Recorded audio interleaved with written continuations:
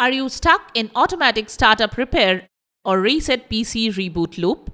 Then you are at the right place as we know how to fix the issue. Let's get started.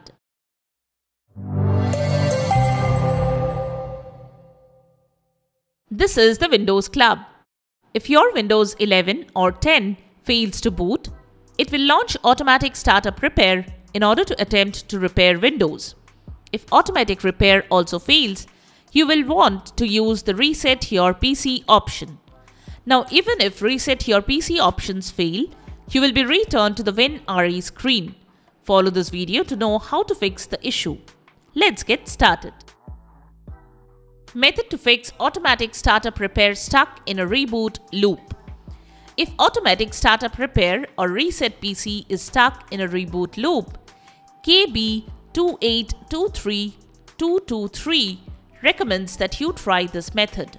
From the WinRE screen, select Troubleshoot, then Advanced Options. Next, select Command Prompt.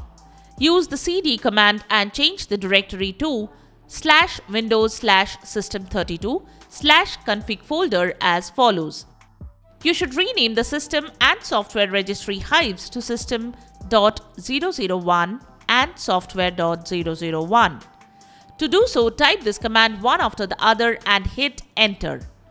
ren system system.001 ren software software.001 if you want to use refresh this PC, rename only the system Hive. But in such case, if your software Hive is also corrupt, you may be unable to use the refresh your PC option.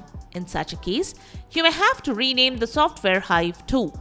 When you rename the software Hive, you will not be able to use refresh your PC, but only the reset your PC option. Finally, type exit to close the command prompt reboot the PC, back to the automatic repair screen. Select Troubleshoot, then reset your PC.